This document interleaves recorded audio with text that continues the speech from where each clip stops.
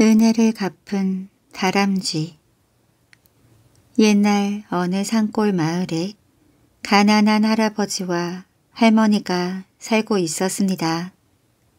할아버지는 집신을 삼아서 팔고 할머니는 부잣집 빨래를 해주며 어렵사리 살아갔습니다. 어느 날 할머니는 산나무를 뜯으러 산에 올라갔다가 족제비에게 잡혀가는 다람쥐를 보았습니다. 저런 가엾어라. 할머니는 얼른 기다란 나뭇가지를 주어 족제비를 쫓았습니다. 놀란 족제비는 다람쥐를 놓고 멀리 달아났습니다. 할머니는 달려가 다람쥐를 살펴보았습니다. 다람쥐는 눈을 감은 채 숨을 거칠게 몰아쉬고 있었어요. 옆구리에는 족제비의 입자국이 나 있었습니다. 하마터면 큰일 날 뻔했구나. 할머니는 치마를 찢어 다람쥐의 상처를 싸맸습니다. 그러고는 집으로 데려와 따뜻한 아랫목에 누이고 정성껏 돌봐주었습니다. 한참 만에 정신을 차린 다람쥐가 겁먹은 표정으로 방 안을 이리저리 살폈습니다. 이제 마음 놓으렴 아무도 해치지 않을 테니. 할머니의 말에 다람쥐가 주르륵 눈물을 흘렸습니다. 기특해라. 눈물로 고맙다고 인사를 다하네. 할머니는 다람쥐를 조심스레 품에 안고 등을 토닥여 주었습니다. 그날부터 할아버지와 할머니는 다람쥐와 함께 살았습니다. 상처를 치료해주고 도토리와 밤을 주워다 먹이면서 따뜻이 보살폈습니다. 다람쥐의 상처가 아물자 할아버지는 쳇바퀴를 만들어 주셨습니다. 다람쥐는 쳇바퀴를 달달 돌리며 재롱을 피웠어요. 요 녀석 재주가 보통이 아닌걸. 정말 재간둥이에요. 어쩜 저렇게 빨리 움직이는지. 자식 없이 쓸쓸히 지내던 할아버지와 할머니의 얼굴에 웃음꽃이 활짝 피었습니다. 몇 달 뒤 다람쥐는 새끼를 다섯 마리나 낳았습니다. 할아버지와 할머니는 기뻐하며 새끼들을 잘 보살펴 주었지요. 한 해 또 한 해가 지나자 새끼들이 자라서 어미가 되고 어미들은 또다시 새끼를 낳았습니다. 몇 년이 지나자 다람쥐들은 수백 마리로 불어나 집안은 온통 다람쥐들로 버글거렸습니다. 할아버지와 할머니는 다람쥐들의 먹이를 구하는 일이 점점 힘에 붙였습니다. 할아버지는 그 사이 더 늙어서 집신을 삼을 수도 없었고 할머니도 기운이 없어 빨래를 할 수 없었습니다. 그러다 보니 살림이 어려워져 끼니를 거르는 날도 많았지요. 어느 날 할아버지는 다람쥐들을 모아놓고 말했습니다. 우리 부부가 이제 너무 늙어서 우리 밥벌이도 힘들게 되었다. 너희들까지 먹여 살리려니 여간 힘이 드는 게 아니구나. 그러니 오늘부터는 산에 들어가 너희들끼리 살도록 해라. 할아버지가 말하는 동안 할머니는 옷고름으로 눈물을 훔쳤습니다. 정든 다람쥐들과 헤어지려니 너무 마음이 아팠습니다. 다람쥐들은 눈물을 흘리며 집을 떠났어요. 할아버지와 할머니만 남은 집은 다시 예전처럼 쓸쓸해졌습니다. 할머니는 한숨만 내쉬며 저녁밥을 지을 생각도 하지 않았습니다. 어느덧 해질 무렵이 되었어요. 집을 떠났던 다람쥐들이 쪼르르 집으로 몰려왔습니다. 다람쥐들의 양 볼 주머니가 터질 듯 불룩했습니다. 볼 주머니에 무엇이 들었느냐? 할머니와 할아버지가 반가워하며 물었습니다. 그러자 다람쥐들이 볼 주머니에 있던 것들을 모두 뱉어냈습니다. 이건 나다리 아니냐? 두어 말은 될 것 같구나. 기특도 하지. 하지만 굶어 죽을지언정 남의 것을 먹을 수는 없단다.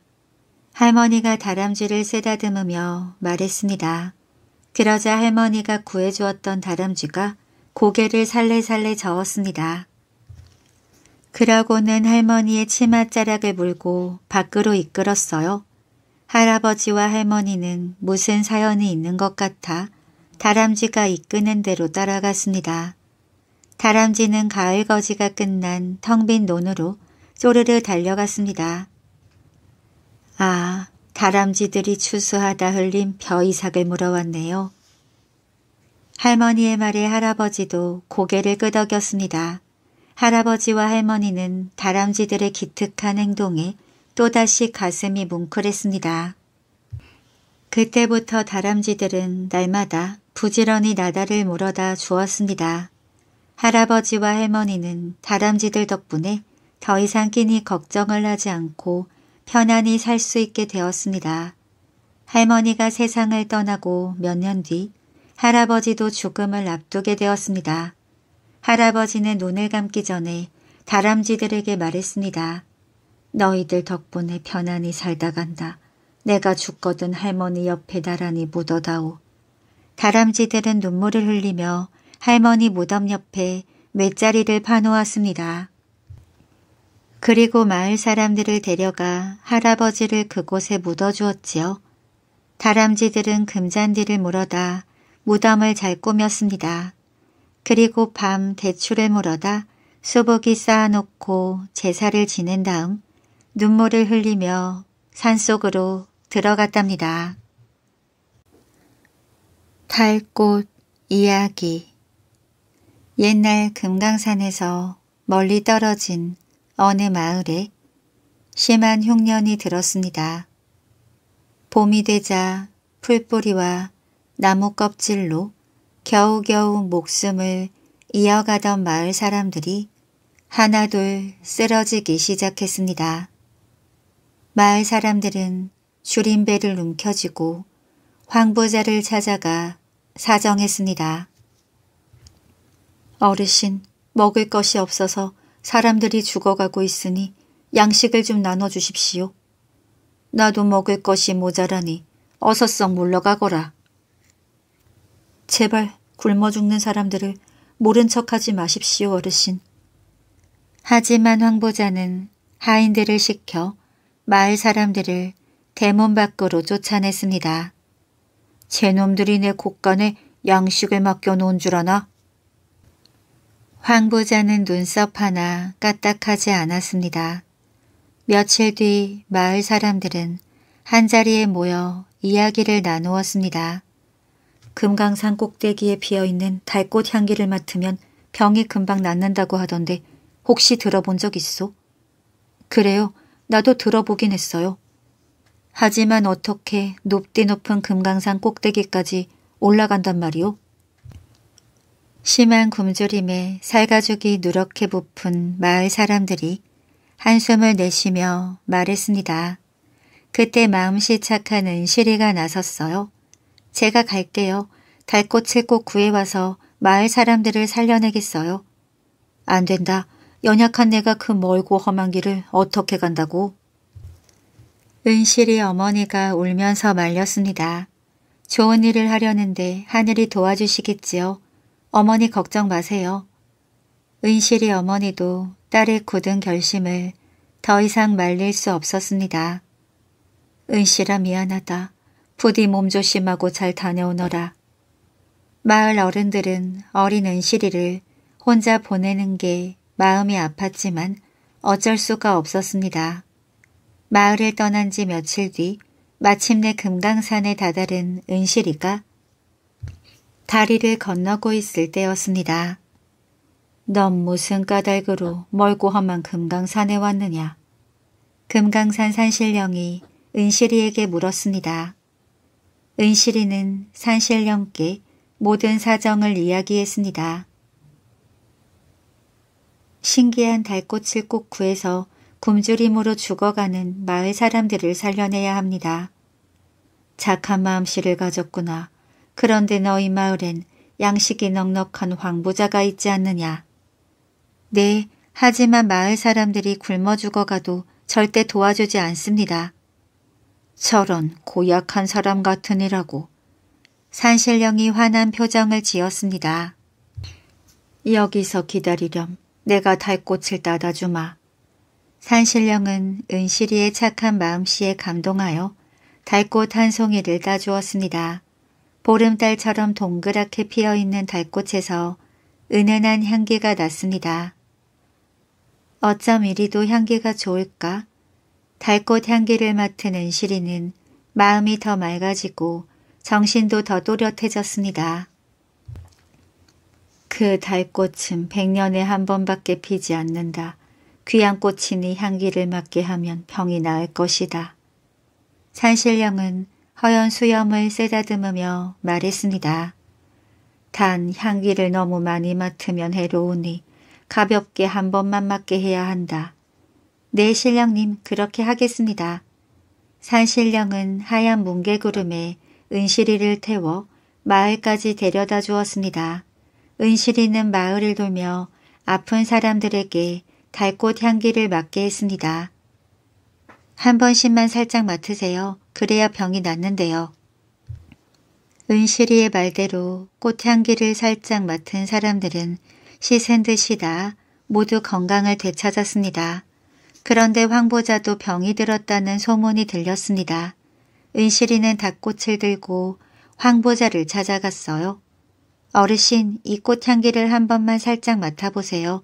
너무 많이 맡으면 몸에 해롭답니다. 황보자는 벌떡 일어나더니 달꽃을 움켜쥐고 큼큼 향기를 맡았습니다. 향기가 아주 좋구나. 이 꽃 향기를 많이 맡으면 더 오래 살 수 있겠지.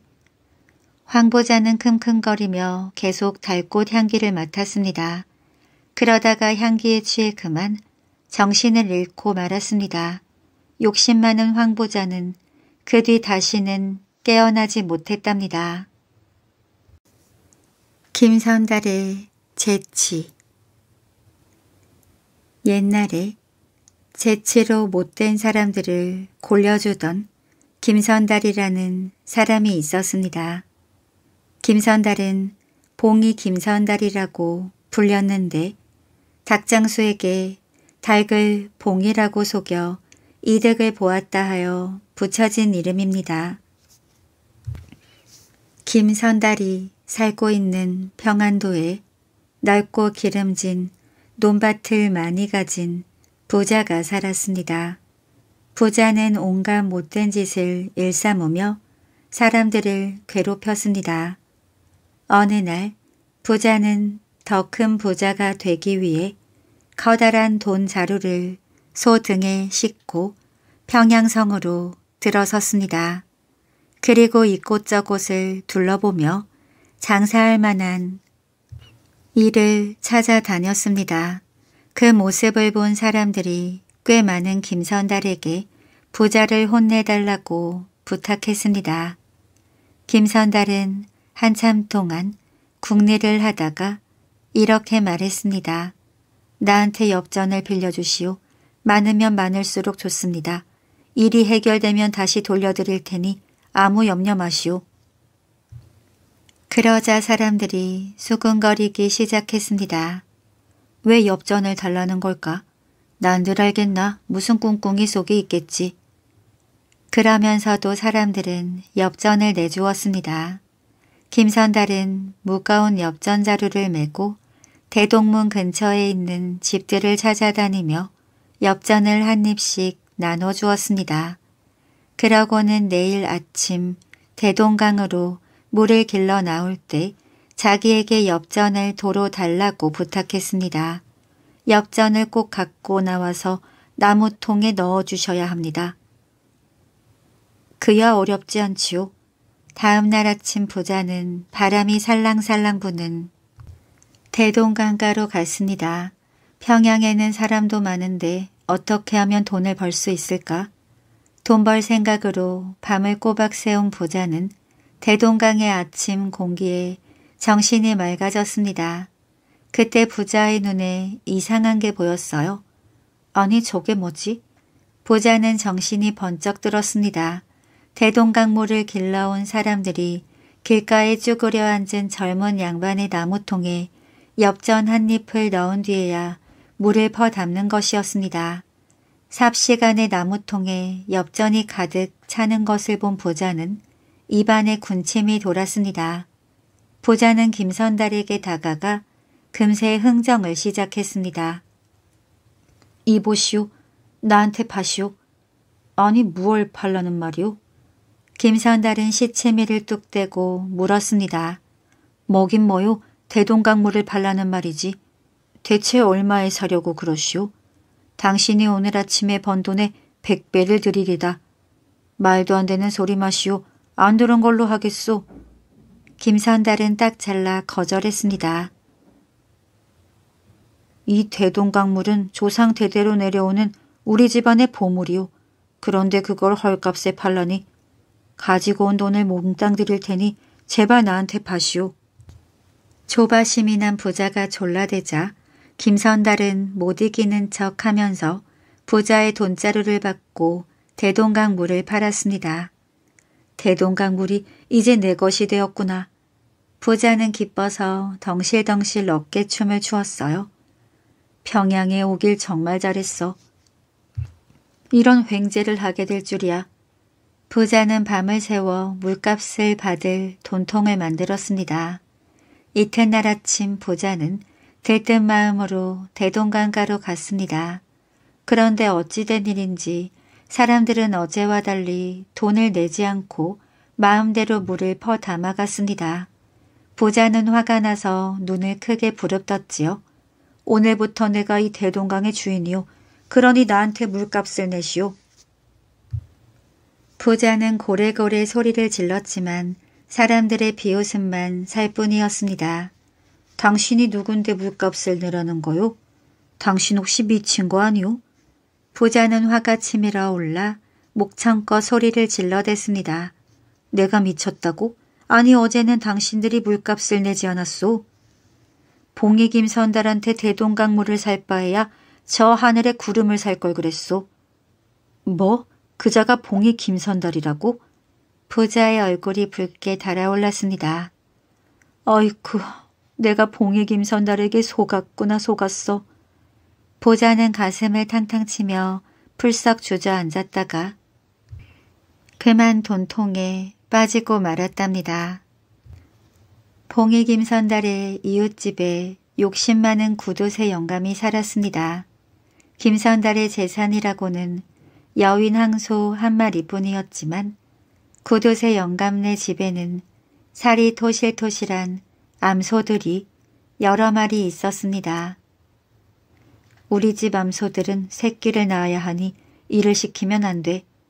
구두새 영감은 김선달의 황소를 빌려 집 나르는 일을 시키곤 했습니다. 그래서 김선달은 구두새 영감을 골려주려고 단단히 벼르고 있었지요. 어느 날 김선달은 달걀 꼬러미를 들고 구두새 영감을 찾아갔습니다. 영감님, 이 달걀을 받으세요. 따끈따끈합니다. 아니 그걸 왜 나에게 주는가? 그야 영감님 달걀이니까 드리는 거지요. 내 거라니 그럼 우리 집 달기 낳은 알이란 말인가? 그런 게 아닙니다. 우리 집엔 수탉이 없는데 암탉의 알을 낳았습니다. 이상하게 생각하고 살폈더니 글쎄 영감님네 수탉이랑 온종일 같이 지내지 뭡니까? 영감님네 수탉이 없었다면 우리 집 암탉이 어떻게 알을 낳았겠어요? 그러니까 이 달걀은 영감님 것입니다. 구두새 영감은 손뼉을 치며 좋아했습니다. 그야 물론이지 우리 집 수탉이 아니었으면 자네 집 암탉이 어떻게 알을 낳았겠는가? 그러니 달걀은 내 것이 당연하지. 다음 날에도 또 그 다음 날에도 김선달은 구두새 영감에게 달걀을 갖다 주었습니다. 아니 아부를 해도 정도껏 해야지 날마다 달걀을 구두새 영감에게 갖다 바치다니 무슨 꿍꿍이 속에 있는지도 모르지. 사람들이 수근거렸지만 김선달은 아랑곳하지 않고 구두새 영감에게 계속 달걀을 갖다 주었습니다. 며칠 뒤 구두새 영감 내 암소가 송아지를 낳았습니다. 김선달은 구두새 영감을 찾아갔습니다.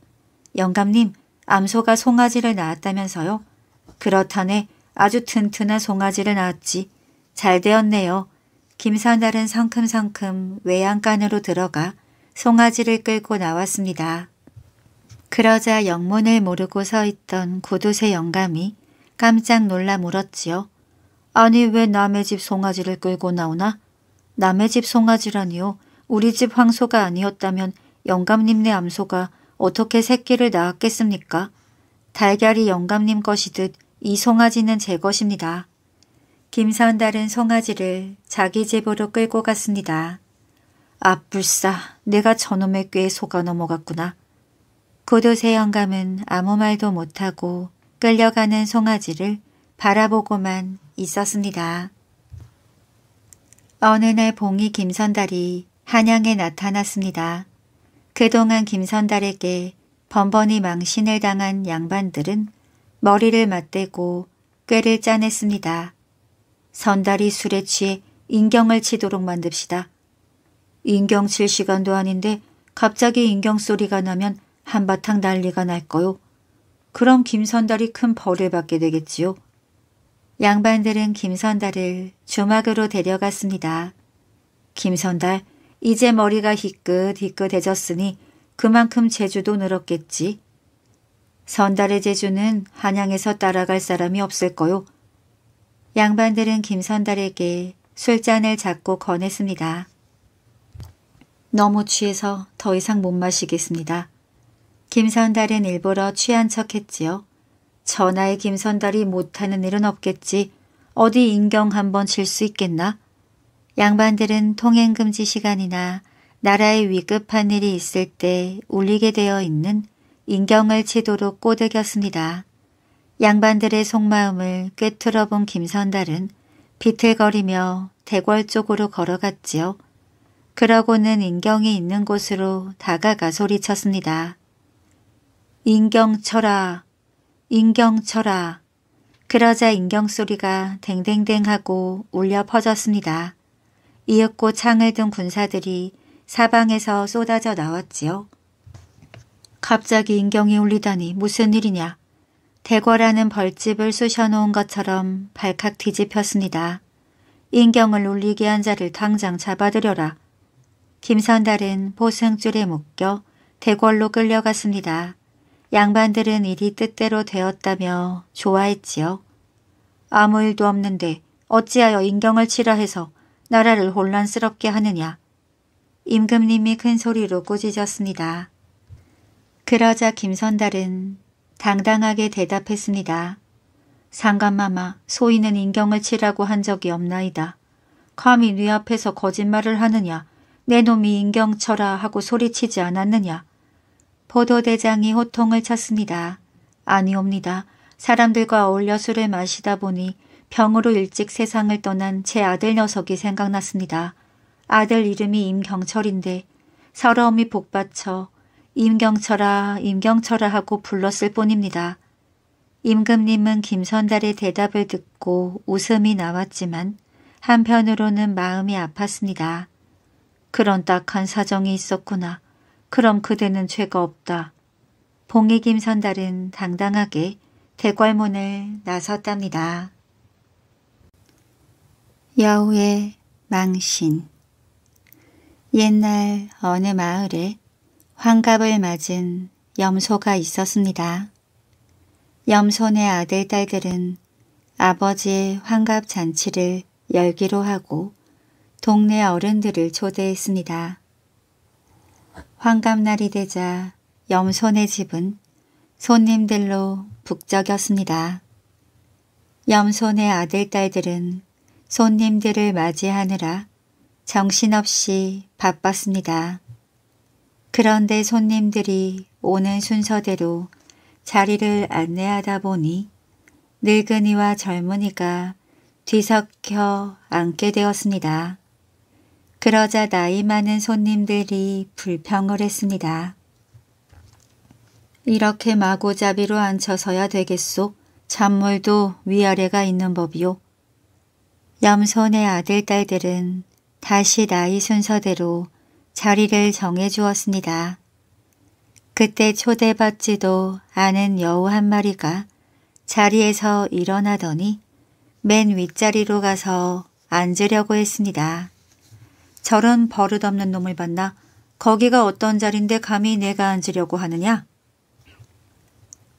나이 많은 손님들이 한 목소리로 여우를 나무랐습니다.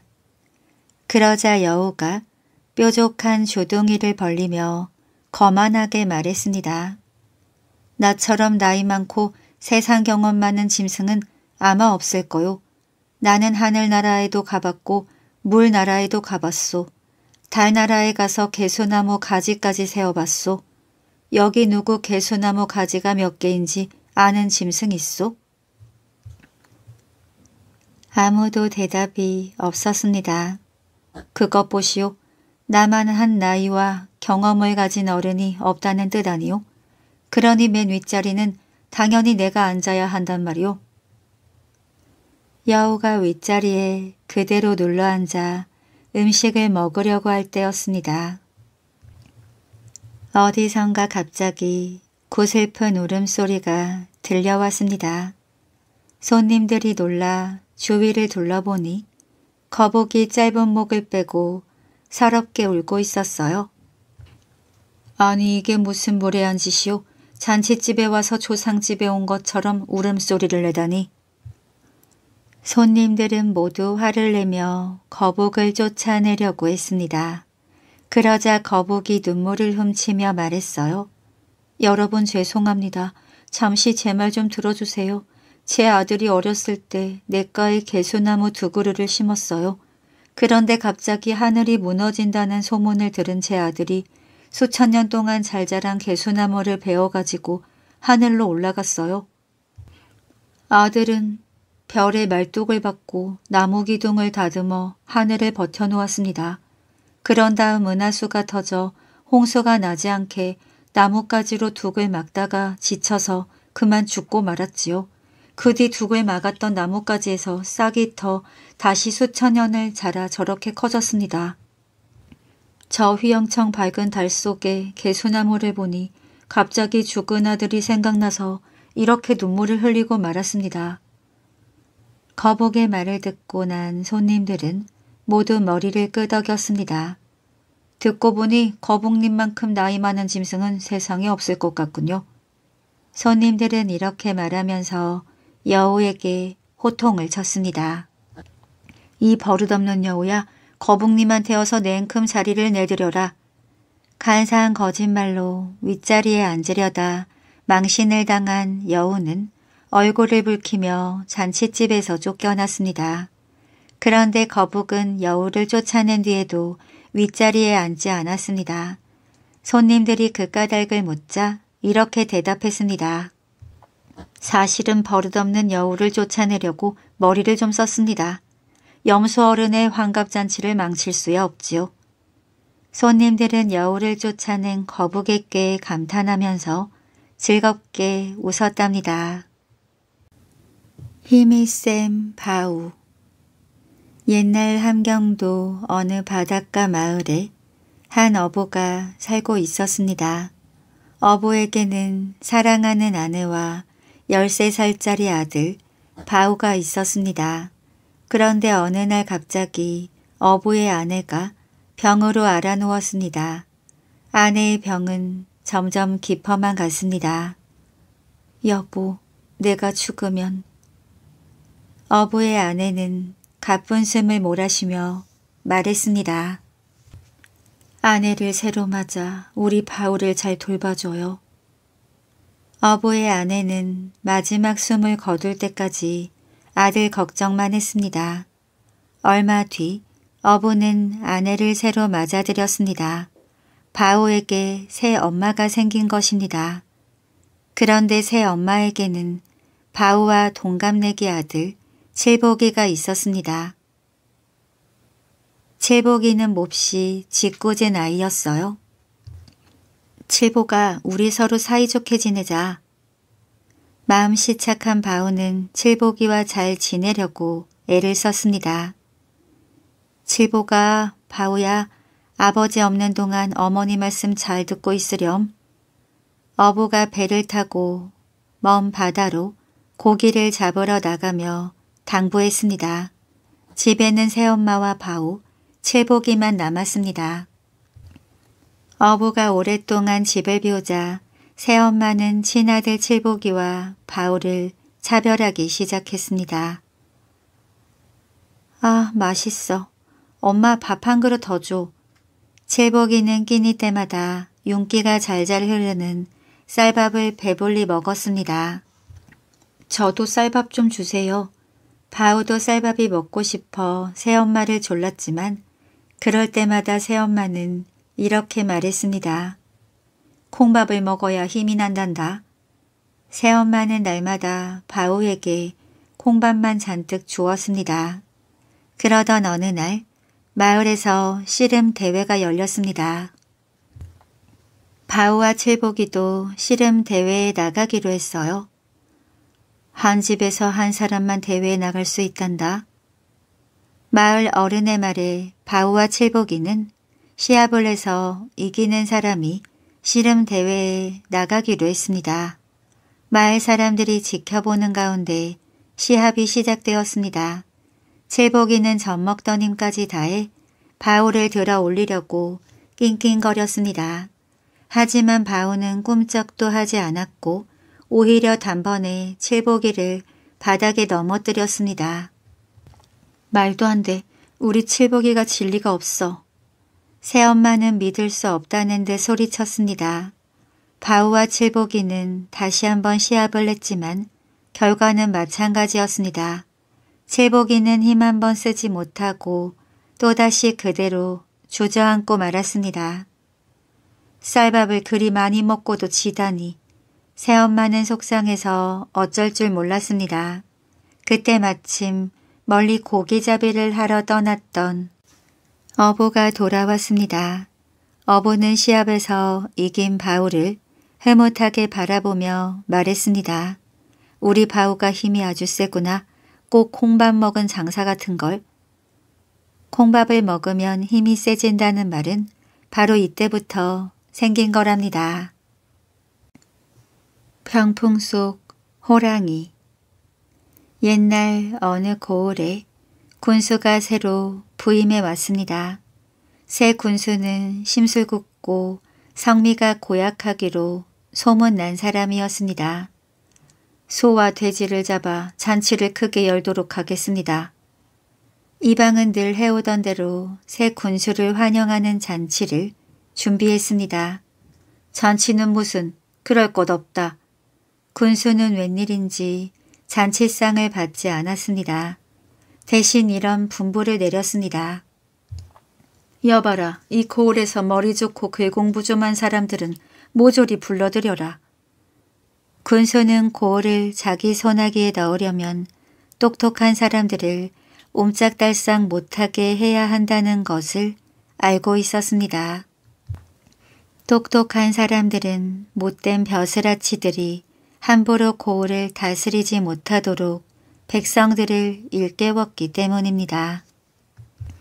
그래서 군수는 새로 부임할 때마다 그 고을에서 똑똑하다고 알려진 사람들의 코를 납작하게 만들어 놓는 일부터 시작했습니다.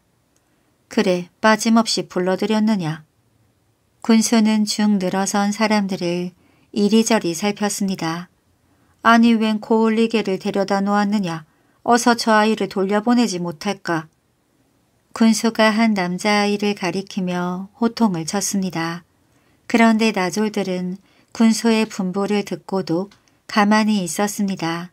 군수는 화가 머리끝까지 났습니다. 이놈들이 갑자기 귀가 먹었나 왜 우두커니 서 있기만 하는 거야. 군수는 얼굴을 일그러뜨리며 마구 화를 냈습니다. 그러자 제일 나이 많은 나졸이 군수 앞으로 나서며 말했습니다. 저 아이는 비록 나이는 어려도 지혜가 매우 뛰어나서 어른에 비할 바가 아닙니다. 만약 양반으로 태어났다면 고울은 물론 천하도 다스릴 만한 아이입니다. 그 말에 군수는 더욱 화가 치밀었습니다. 네 이놈 감히 네 앞에서 허풍을 떠느냐. 뭐 저 고울리개가 고울을 다스리고 천하를 다스린다고. 군수는 벌떡 일어서서 큰 소리로 외쳤습니다. 그렇다면 내가 저 아이와 내기를 내보겠다. 내가 이기면 아이의 목을 베어버릴 것이다. 군소의 호통에 나졸들은 모두 벌벌 떨기만 했습니다. 그때 아이가 군수 앞에 나섰습니다. 네, 제 목을 베어도 좋습니다. 아이의 당돌한 대답에 군수는 약이 더욱 바짝 올랐습니다. 군수는 이방에게 호랑이가 그려진 병풍과 밧줄을 가져오라 일렀어요. 자, 이 밧줄로 정병풍 속에 있는 호랑이의 목을 메어서 끌어내보아라. 군수는 아이 앞에 밧줄을 던졌습니다. 그러자 아이는 밧줄을 집어들고 씩 웃었어요. 네, 군수님 말씀대로 하겠습니다. 아이는 대문 밖으로 뛰어나가며 소리쳤습니다. 군수님께서 몽둥이로 호랑이 엉덩이를 쳐서 대문 밖으로 몰아주세요. 그러면 제가 대문 밖에서 지키고 있다가 밧줄로 호랑이 목을 메어 끌고 들어갈게요. 이 말을 들은 군수는 고래고래 소리를 질렀습니다. 이 한심한 놈아 몽둥이로 아무리 친다 해도 어떻게 그림 속에 호랑이가 뛰어나올 수 있단 말이냐. 그러자 아이가 깔깔 웃으며 대답했습니다. 아무리 몽둥이로 쳐도 꿈쩍 않는 그림 속의 호랑이를 어떻게 밧줄로 메어 끌어낼 수 있겠습니까? 할 수 없는 것을 하라고 억지를 부리는 군수님이야말로 진짜 한심한 사람이 아닌가요?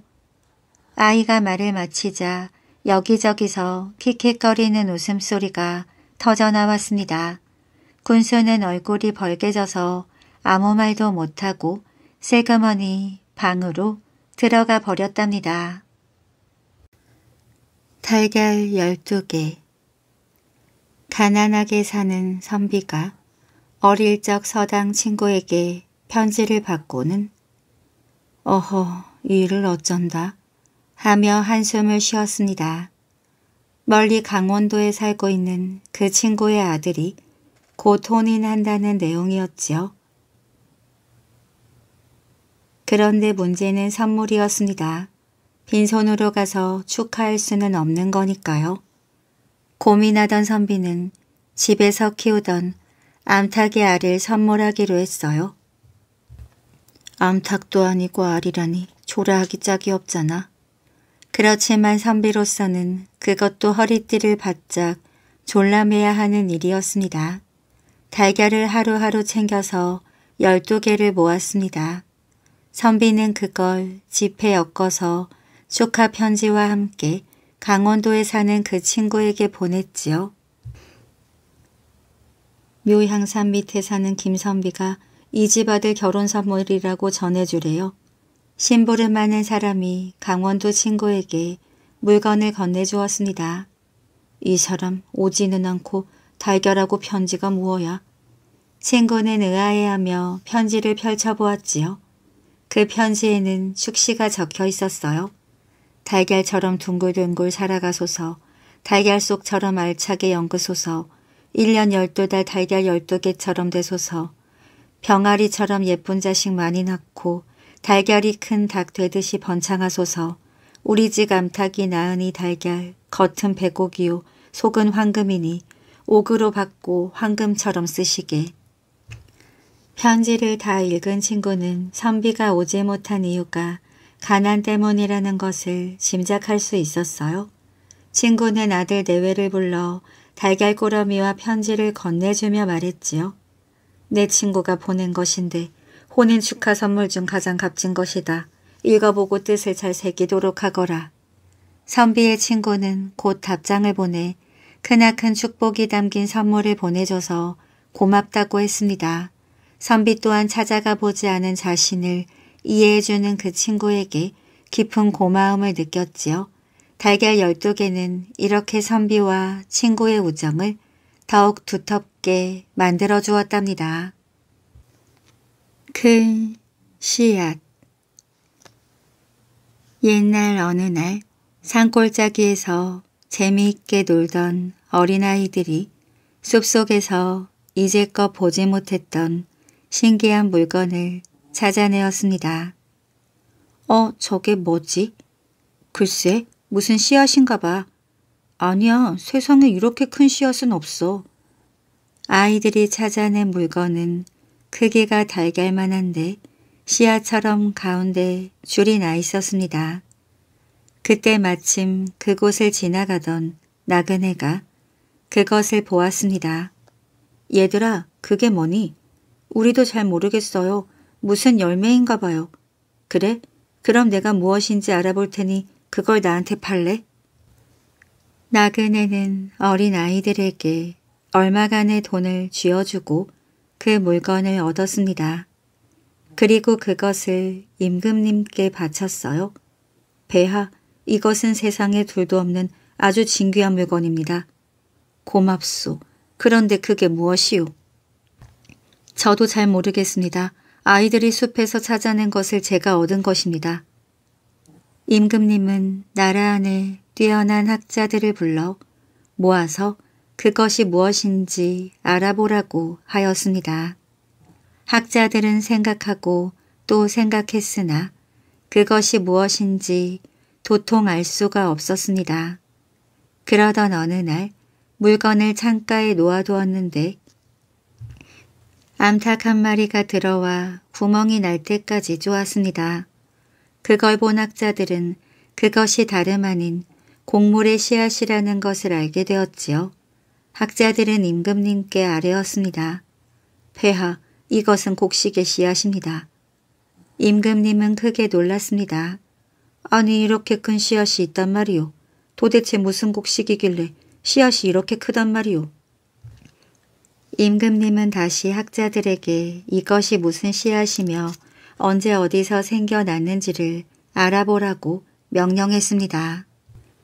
학자들은 씨앗을 찾아보고 온갖 책을 뒤져보았지만 아무것도 알아낼 수 없었어요.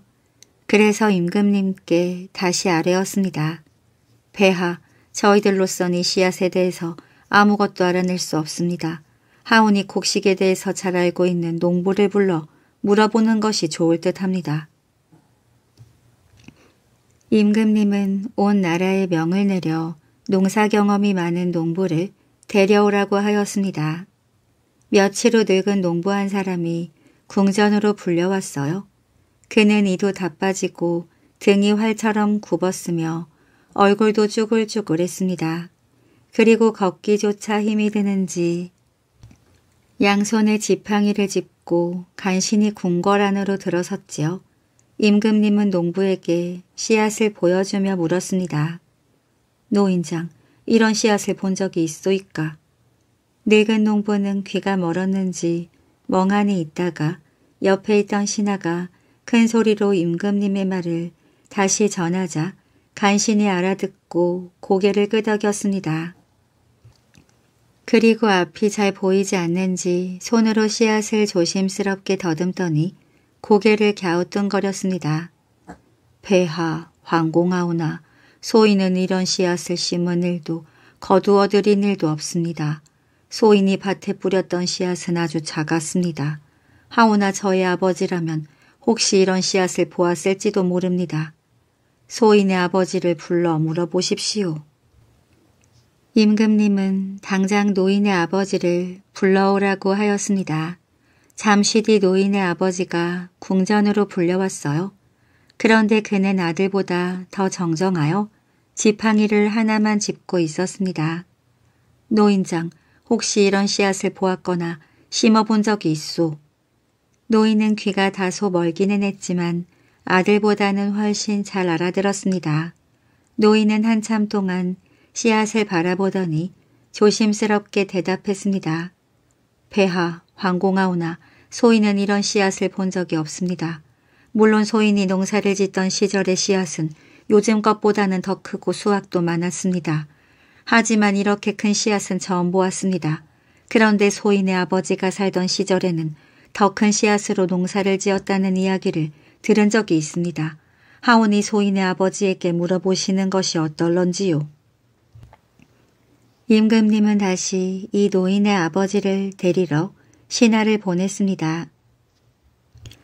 얼마 안 있어 노인 한 사람이 궁전으로 들어왔습니다. 그는 앞서 궁전으로 불려온 자기 손자나 아들보다 훨씬 건강하여 지팡이도 짚지 않았고 목소리에도 힘이 넘쳤습니다. 임금님은 그에게 씨앗을 보여주며 그게 무엇인지 물었습니다. 노인은 씨앗을 이리저리 살펴보더니 얼굴이 환해졌습니다. 오호 이렇게 좋은 씨앗이 남아 있었다니 이거 정말 오랜만에 보는군요. 노인은 씨앗을 조금 물어뜯어 자근자근 씹어보더니 밝은 얼굴로 임금님께 말하였습니다. 폐하, 이것은 아주 먼 옛날에 심었던 곡식의 씨앗입니다. 임금님은 깜짝 놀라 다시 물었습니다. 그래요. 그럼 노인장께선 이런 곡식의 씨앗을 직접 심어본 적이 있겠구려. 그럼요. 이런 곡식은 소인이 농사짓던 시절에는 어디서나 자라고 있었습니다. 사람들은 모두 이런 곡식을 먹고 살아왔습니다. 임금님이 궁금한 듯이 다시 물었습니다. 노인장, 그때 그런 씨앗을 어디에서 샀소? 그 씨앗은 값이 얼마나 돼요? 노인이 웃으며 대답했습니다. 소인이 농사짓던 시절에는 곡식을 사고 판다는 것은 꿈도 꾸지 못한 일이었습니다. 또 돈이란 것도 몰랐고요. 누구나 먹고 살 수 있을 만큼의 충분한 곡식을 가지고 있었습니다.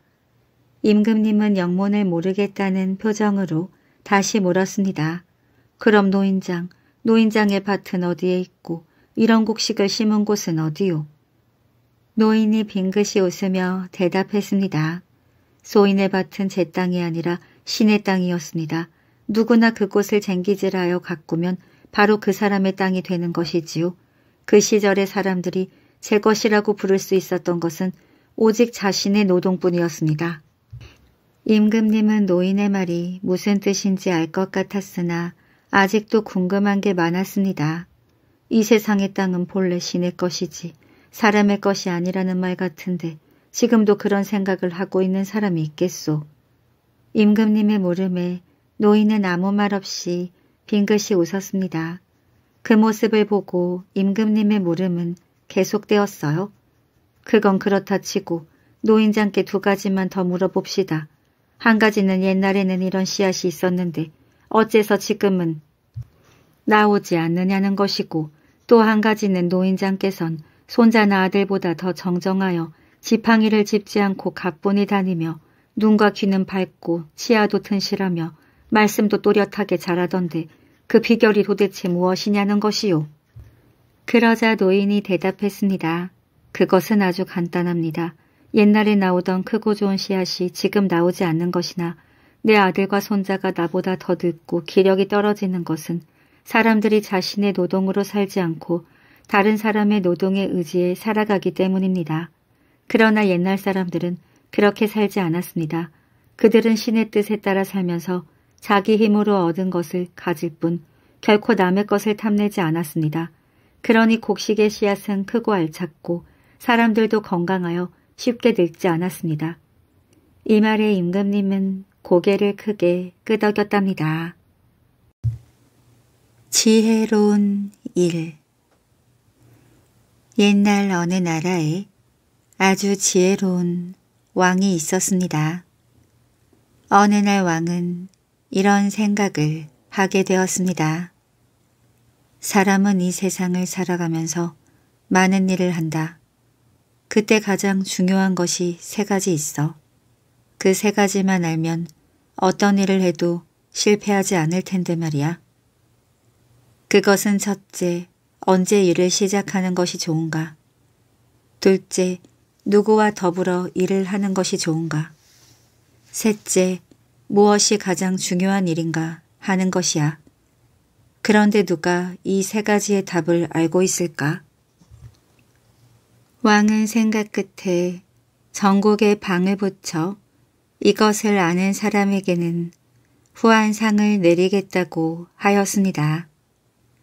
그러자 수많은 학자들이 몰려와 여러 가지 생각들을 쏟아 놓았습니다. 처음 질문, 언제 일을 시작하는 것이 좋은가에 대한 여러 학자의 의견은 구구하였습니다. 첫 번째로 대답한 학자의 답변을 간추리면 다음과 같습니다. 무슨 일을 하는데 가장 적절한 시기를 알기 위해서는 평소에 미리 할 일을 적어놓은 계획표를 만드는 일입니다. 그리고 그 계획표대로 일을 해나가면 어떤 일이든 시기를 놓치지 않을 것입니다. 두 번째 학자의 의견은 이와 달랐습니다. 어떤 일을 언제 할 것인가 하는 문제를 미리 결정하는 일은 불가능합니다. 그러므로 그때그때 일어나는 일에 최선을 다하는 것이 가장 현명한 방법입니다.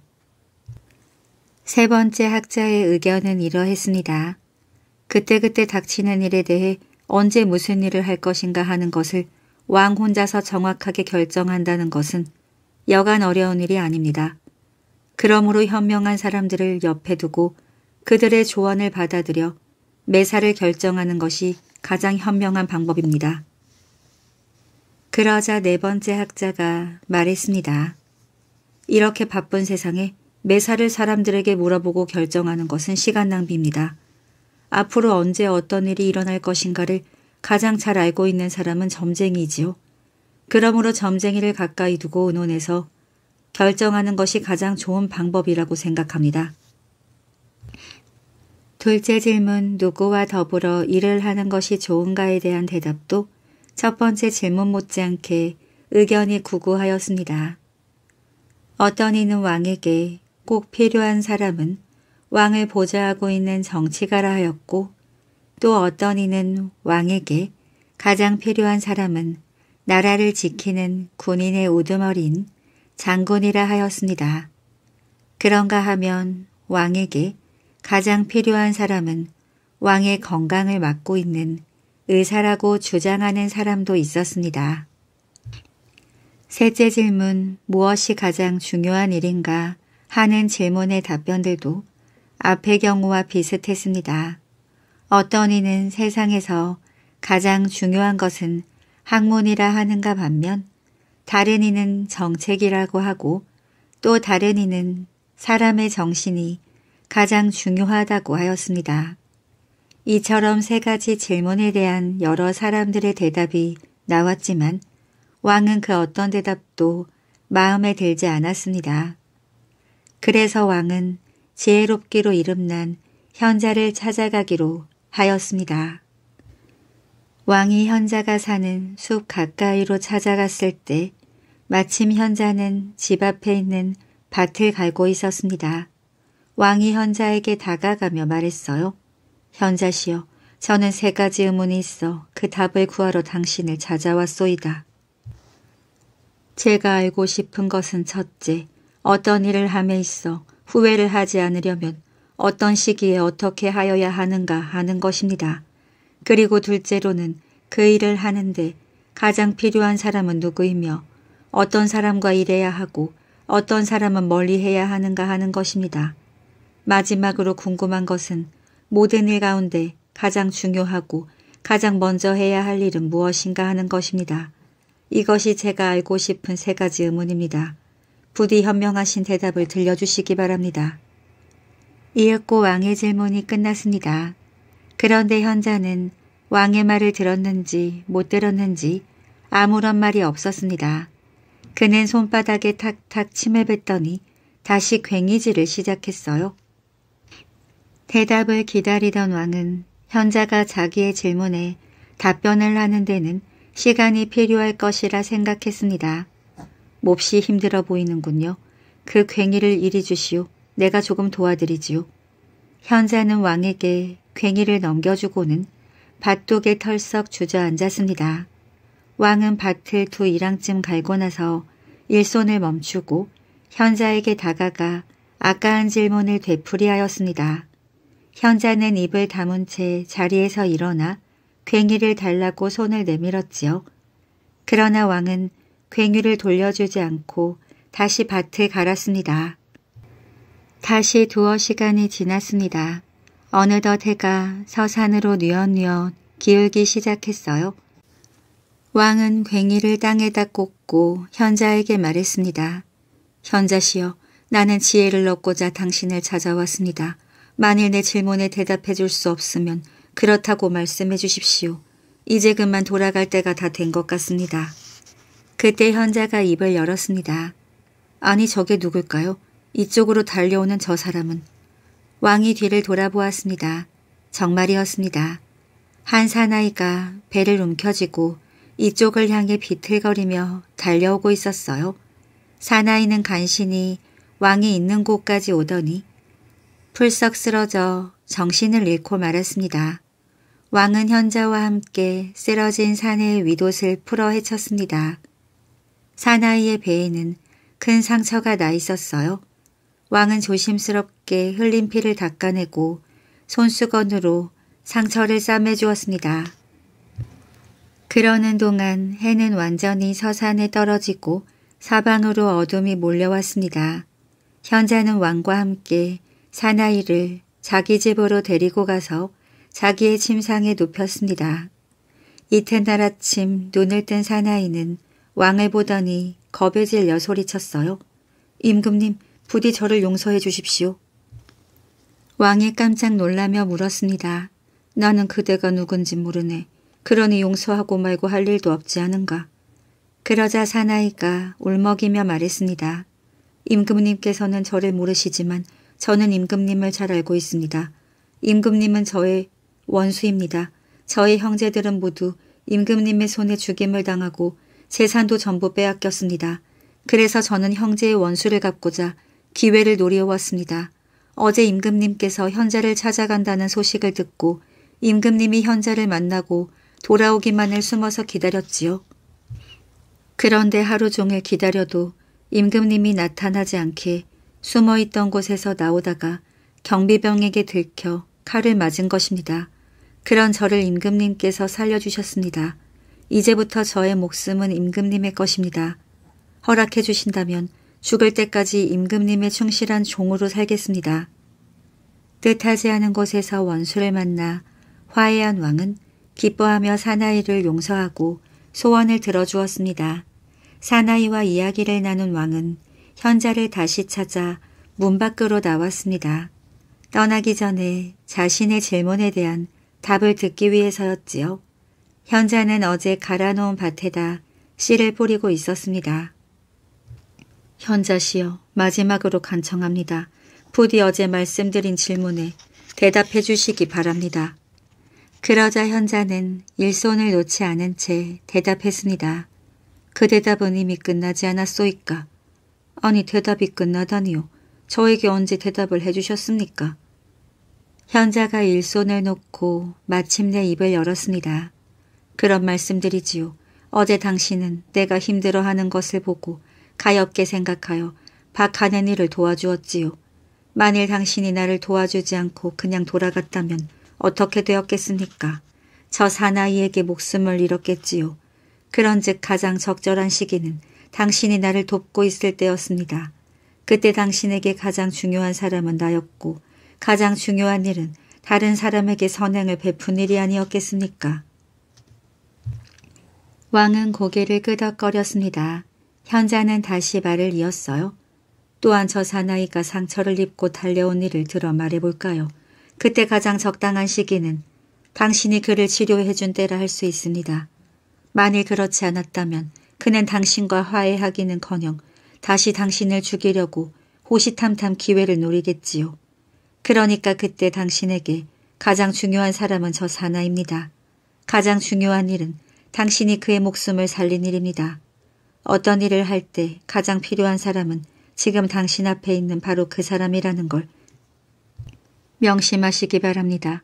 사람이 언제 어디에서 어떻게 또 다른 누군가를 만나게 될지는 아무도 모르기 때문입니다.